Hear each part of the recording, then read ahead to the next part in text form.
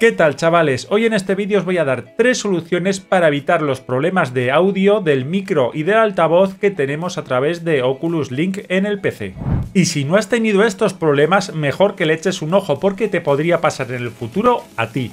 La primera solución sería dirigirnos a la carpeta de instalación de nuestra aplicación de Oculus.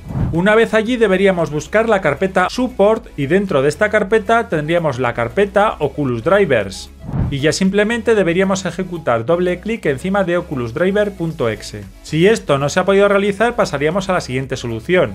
Lo siguiente que tendríamos que revisar serían las condiciones de privacidad, sobre todo si el problema que lo tenemos es con el micrófono.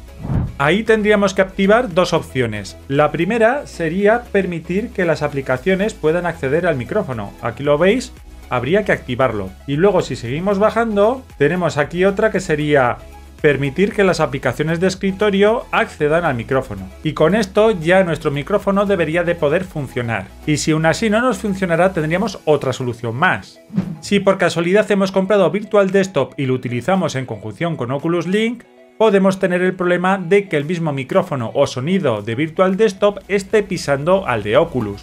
Simplemente deshabilitando lo que es el tema del micrófono de Virtual Desktop o el sonido de Virtual Desktop, dependiendo del problema que tengamos, ya directamente cogería el sonido de Oculus, con lo que ya no tendríamos problemas con el sonido.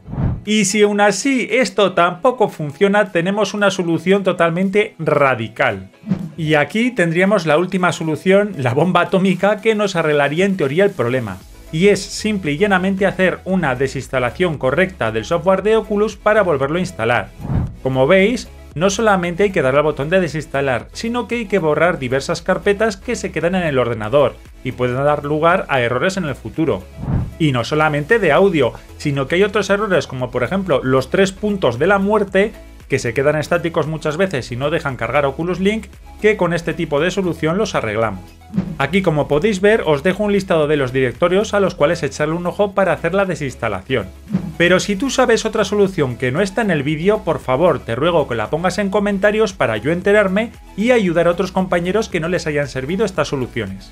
Y si te ha gustado el vídeo suscríbete y si no te ha gustado pues no te suscribas. ¡Nos vemos!